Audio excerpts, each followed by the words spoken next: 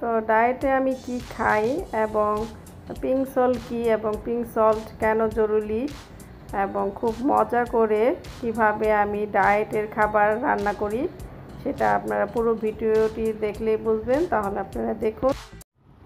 আসসালামু আলাইকুম, কেমন আছেন সবাই? আল্লাহ রহমতে নিশ্চয়ই ভালো আছেন, আমরাও ভালো আছি, আলহামদুলিল্লাহ। তো আবারও চলে আসলাম বারান্দায়। তো বারান্দা থেকে আসতে আজকে দিনলিপিটা শুরু করলাম। তো আমি তো প্রত্যেক দিনই সকালে ঘুম থেকে উঠেই বারান্দায় চলে আসি। তো ভাবলাম, তো এখান থেকেই শুরু করি আর আপনাদের সাথে বারান্দার বাগানটা একটু শেয়ার করি। অনেকের কাছে আমার বারান্দার এই গাছগুলো দেখতে ভালো লাগে, তাই ভাবলাম তো চলে আসি এখানেই। তো এই টপে কিছু এই লাগাইছি, আপনারা দেখতে পাচ্ছেন কি না যে এই টপে ডাটার দানা লাগাইছি ওই যে অল্প অল্প পড়তেছে ডাটার দানা হচ্ছে আর কি। তো এই তো বাইরের ভিউটা, সকালবেলার মিষ্টি রোদ, খুব ভালো লাগতেছে, এবং হালকা বাতাস, হালকা বাতাসও আছে মানে ওরকম বাতাস না, হালকা বাতাস। আর এই তো ফাতেহা বাবির বাসার সামনটা আর কি। তো পুরি গাছের এইগুলা দেখেন, কত সুন্দর হয়েছে। তো আজকে আপনাদের সাথে আমি খুব খুব প্রয়োজনীয় একটা জিনিস আজকে শেয়ার করব। ডায়েটের একটা রেসিপি ডায়েটের একটা রেসিপি আপনাদের সাথে শেয়ার করব আর কি। তো অনেকে আমার কাছে জানতে চাইছেন যে, আপু, কীভাবে ডায়েট করো তুমি? তো আমি আগেই বলছি যে, আমি প্রপারলি কিন্তু ডায়েট করি না। যখন ডায়েট করি করি, কিন্তু মাঝে মধ্যে আবার খেয়ে ফেলি। মানে একদম একসাথে মানে অনেক দিন ডায়েট করতে পারি না। এটাই আমার প্রবলেম তো আল্লাহ রহমতে যে, যেতটুকুই করছি, আল্লাহ রহমতে অনেকটাই কমছি। তো তো আজকে আমি আজকে আমি ডায়েটে, শুধু রাত্রে মানে রাত্রে আমি কি খাই, শুধু ওইটাই আপনাদের সাথে শেয়ার করব। আর তো একটু পরে রায়ানকে স্কুলে দিয়ে আসব। তো স্কুলে দিয়ে আসি। তারপরে আবার কথা হবে এবং আপনারা পুরো ভিডিওটি দেখবেন। পুরো ভিডিওটি দেখলে বুঝতে পারবেন ডায়েটে আমি কি খাই এবং আরও কিছু গুরুত্বপূর্ণ কথা তো আপনারা দেখতে থাকুন।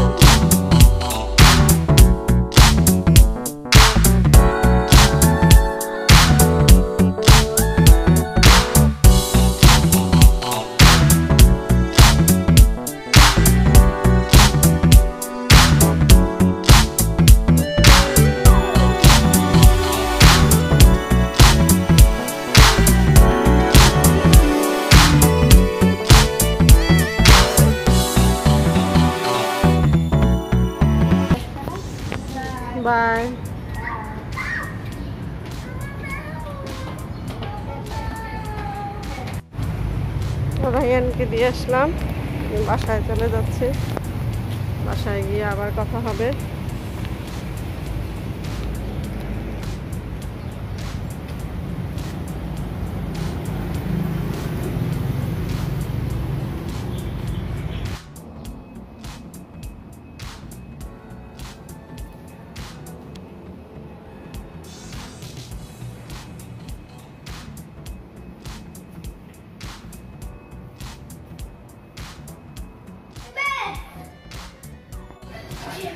দেখছেন রাইয়ান আর ওর বাবা ক্যারাতি সিনেমা দেখতেছে। তো রাইয়ান কেমন করতেছে? ও টিভিটা দেখে ও এরকম করার চেষ্টা করতেছে।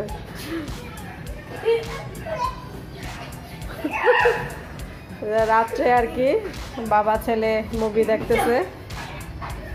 ক্যারাতি মুভি রাইয়ান ও এরকম দুষ্টুমি করতেছে। তো ভাবলাম একটু শ্যুট করি। আপনারাও দেখলে আনন্দ পাবেন।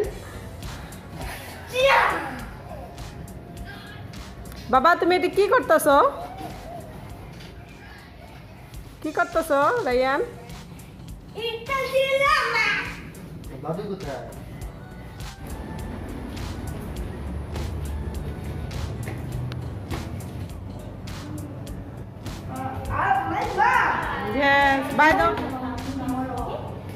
মাম আসে না এখনও। আসবে এখন। চলো। দাও নাও নিচে নাও। আমি তো রায়ানকে নিয়ে বাসায় চলে যাচ্ছি।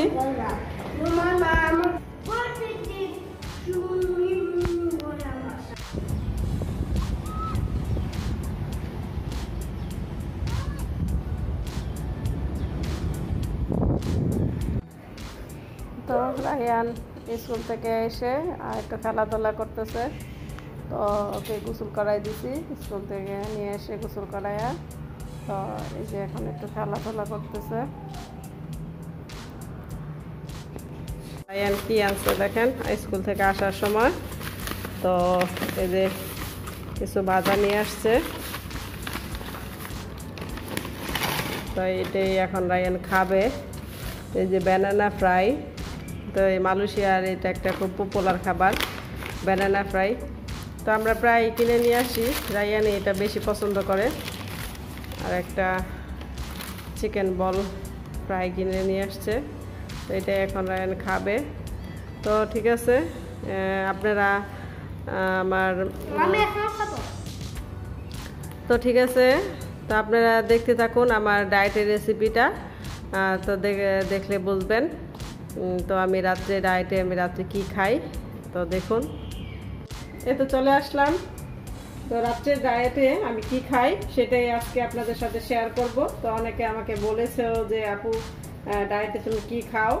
তো পুরো রেসিপিটা শেয়ার করতে, তো আজকে শুধু পুরো দিনের রেসিপি শেয়ার করলাম না, শুধু রাত্রে আমি কি খাই সেটাই আপনাদের একটু দেখাচ্ছি। তো এখানে আমি কি কি সবজি নিয়েছি সেটা একটু আগে বলি। এই যে ব্রকলি, তারপরে এটা হলো মাশরুম। মাশরুমটা কিন্তু আমাদের শরীরের জন্য খুব উপকারী, এটার মধ্যে ভিটামিন ডি আছে। আর অনেক কিছুই আছে কিন্তু এটার মধ্যে ভি, ভিটামিন ডিটা কিন্তু আমরা খুব কমই পাই। তো মাশরুমটা কিন্তু আমাদের শরীরের জন্য অনেক উপকার। আর এই যে এটা হলো যে বেগুনি আর কি, বেগুনি কালারের বাঁধাকপি, তারপরে যে ফুলকপি, ব্রোকলি। এই চারটা আইটেমই আমি দিছি, এখন মানে ঘরে যা ছিল, এই চারটা আইটেমই ঘরে ছিল। তো এই কটাই দিলাম। তো এই কটা দিয়ে আমি কীভাবে রান্না করি? সবজিটা সেটাই আপনাদের সাথে আজকে শেয়ার করব।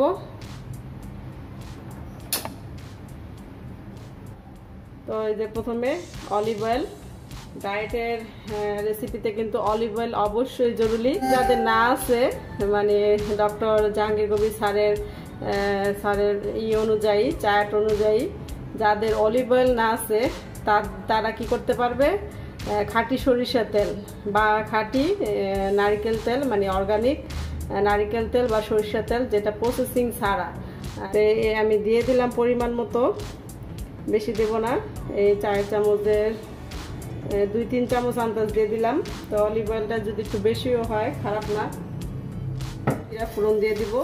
তো জিরাটা দিলে কি মানে ফ্লেভারটা একটু ভালো আসে, খেতে একটু ভালো লাগে। নাহলে কিন্তু এমনি খালি সবজি কিন্তু একটা অন্যরকম একটা স্মেল হয় যে স্মেলটা মানে ভালো লাগে না। তো এই যে জিরা মানে ফোড়নটা দিলে স্মেলটা খুব সুন্দর আসে। তো এটা জিরাটা দিয়ে দেওয়ার পরে যে আমি এখানে পেঁয়াজ, তারপরে কাঁচামরিচ, রসুন আর একটু আদা, এগুলো একটু কেটে দিয়ে কেটে নিয়েছি। তো এটা এখন দিয়ে দিলাম। তো এটা আমি একটু হালকা ভাজবো। বেশি ভাজবো না, হালকাই ভাজবো। তার একটু ভাজা হোক। তো যে পেঁয়াজ, আদা, রসুনটা ভাজা হয়ে গেছে, তো আমি কিন্তু বেশি ভাজবো না। তো এখন এই যে দিয়ে দিব সবজিগুলো। একটু ভালো করে নাড়াচাড়া দিয়ে নিই। আরেকটা খুব গুরুত্বপূর্ণ একটা জিনিস, এই যে এটা হলো পিঙ্ক সল্ট। তো ডক্টর জাহাঙ্গীর কবি স্যারের যদি আপনারা সব ভিডিও দেখে থাকেন, তাহলে কিন্তু স্যারে কিন্তু পিঙ্ক সল্টের কথা বলছে। নর্মাল আমরা যে সল্ট খাই, ওটা না। আমরা যারা ডায়েট করি, আমাদের কিন্তু পিঙ্ক সল্টটা অবশ্যই খেতে হবে সব কিছুর মধ্যে। তো এই যে পিঙ্ক সল্টটা আমি এখন দিয়ে দিলাম। তো পিঙ্ক সল্টটা মানে ডায়েটের জন্য অনেক উপকার। নর্মাল সল্ট আর কি আমাদের জন্য ভালো না।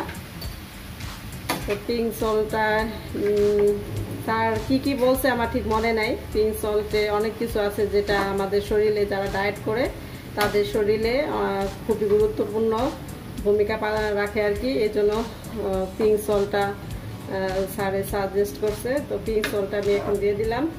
তো আরেকটা জিনিস দেব এগুলো গোলমরিচ। তো গোলমরিচটা কিন্তু গোলমরিচের কিন্তু আলাদা একটা ই আছে, গোলমরিচও কিন্তু ওজন কমায়। গোলমরিচ আমাদের জন্য শরীরের জন্য অনেক ভালো। তো কেউ যদি পছন্দ করেন দিবেন আর কেউ পছন্দ না করলে না দিবেন, সমস্যা নেই। দিতেই হবে এমন কোনো কথা না, তো এটা অপশনালি তো গোলমরিচের ফ্লেভারটা আমার ভালো লাগে, তাই এটা একটু সামান্য পরিমাণ দিয়ে দিলাম। তো আমি কিন্তু এটা বেশি কুক করব না, তো কতটুকু কুক করি সেটা আপনারা হয়ে আসলে দেখলেই বুঝবেন। তো ঠিক আছে, এটা হতে থাকুক। তো এ তো আমি এ পর্যায়ে তো গোলমরিচ আর পিঙ্ক সলটা দিয়ে দিলাম। এখন আমি এই যে একটু, আর একটু স্বাদ আনার জন্য একটু ডিম। এখানে আমি দুইটা ডিম ফিটিয়ে নিছি। তো ডিম তো সমস্যা নাই, যে যত ইচ্ছা খেতে পারবেন। চারটা ডিম পর্যন্ত খাওয়া যায় আর কি। চারটা, পাঁচটা ডিম খাওয়া যায়। তো দুইটা ডিম এখানে আমি দিয়ে দিছি। তো ডিমটা দিলে কি খুব ভালো লাগে সবজিটা? মানে খেতে মুখে অনীহা আসে না। এর জন্য ডিমটা আমি সব সবজিতেই দিই। ঠিক আছে, হতে থাকুক। তাহলে আমি এখানে ঢেকে দেবো। তো হয়ে আসলে আবার দেখাচ্ছি। এত সবজিটা কিন্তু এই যে প্রপারলি হয়ে গেছে। তা আমি কিন্তু বেশি নরম করি নাই। কিন্তু সবজি কিন্তু একটু শক্ত শক্ত থাকতে হবে। এই যে দেখেন। টিপ দিলে কিন্তু গলে যায় না। জাস্ট একটু শক্ত শক্ত থাকা অবস্থায় নামিয়ে ফেলতে হবে। তা ঠিক আছে, পরিবেশন করে দেখাচ্ছি। হয়ে গেল আমার আজকে ডায়েটে রাতের সবজি। তো খুব সহজে এভাবে আমি ঝটপট রাত্রেই রান্না করে, রাত্রেই খেয়ে ফেলি। তো টাটকাটা রান্না করে, টাটকাটা খেলে সবচেয়ে ভালো। তো খেতেও ভালো লাগে টেস্টি হয়। তো এখানে যে দুপুরে রান্না করছিলাম, এক পিস চিকেন নিয়ে নিছি আর একটু সালাদ তো রাত্রে ডায়েটে আমি এগুলোই খেয়ে থাকি। তো এখানে শাক থাকলে আপনারা শাকও দিতে পারেন। তো আমার কাছে শাক ছিল না। যে কোনো শাক আপনারা ব্যবহার করতে পারেন। তাহলে আমি এখন এটা খেয়ে নিচ্ছি। আর একটা কথা, তো আপনারা যারা আমার সারাদিনে জাহাঙ্গীর কবির স্যারের ডায়েট অনুযায়ী আমি সারাদিনে কি খেতাম, সেটা যদি আপনারা দেখতে চান বা জানতে চান, তাহলে আমাকে বেশি করে কমেন্টস করে এই ভিডিওর মাধ্যমে জানাবেন। তাহলে আমি পুরো দিনে ডায়েট চার্টটা আপনাদের সাথে একদিন শেয়ার করব। আর স্যার অনেকে আছে, স্যারের কিন্তু পুরো ভিডিও দেখার সময়ও পায় না বা পুরো ভিডিও দেখতে দেখতে পারে না যে কোনো কারণে হোক। তো আমি চেষ্টা করছি স্যারের সব ভিডিও দেখার। তো প্রথম, প্রথমে আমাদের কি করতে হবে যেমন ফ্যাট অ্যাডাপশন ফ্যাট অ্যাডাপশন কীভাবে করতে হবে, কতদিন ফ্যাট অ্যাডাপশন করতে হবে এবং ফ্যাট অ্যাডাপশন যে হচ্ছে আমরা কি করে বুঝব? তো ইন্টারমিডিয়েট ফাস্টিং এবং ওয়াটার ফাস্টিং এবং ফুল ফাস্টিং এগুলা করলে কি হয় বা কি উপকার হয় বা কীভাবে করা যায়? তো এটা যদি আপনারা জানতে চান, তাহলে আমাকে কমেন্টস করে জানাবেন। তাহলে আপনাদের কমেন্টসের উপর নির্ভর করে আমি আপনাদের জানাব। তো আপনারা উপকার পাবেন। আপনারা যদি জানতে চান, তাহলে আমি অবশ্যই জানাব এবং দেখাবো। তো আমি সব ডিটেলস যেটুক জানি স্যারের ভিডিও অনুযায়ী, আমি সেটাই আপনাদের সাথে শেয়ার করব। যদি আপনারা জানতে চান, যদি জানতে চান, তাহলে আমাকে কমেন্টস করে জানাবেন। আর এই রেসিপিটা যদি আপনাদের ভালো লেগে থাকে, তাহলে অবশ্যই আমাকে লাইক কমেন্টস এবং শেয়ার লাইক দিবেন সাবস্ক্রাইব করবেন এবং কমেন্টস করবেন। তো বেশি বেশি করে শেয়ার করবেন এবং আপনাদের সবার কাছে অনুরোধ আমার ভিডিওগুলো সবাই প্লিজ একটু পুরো ভিডিওগুলো দেখার চেষ্টা করবেন। তাহলে ঠিক আছে, আজকে এই পর্যন্তই। তো নেক্সট ভিডিওতে আবার কথা হবে। আল্লাহ হাফেজ, সবাই ভালো থাকবেন।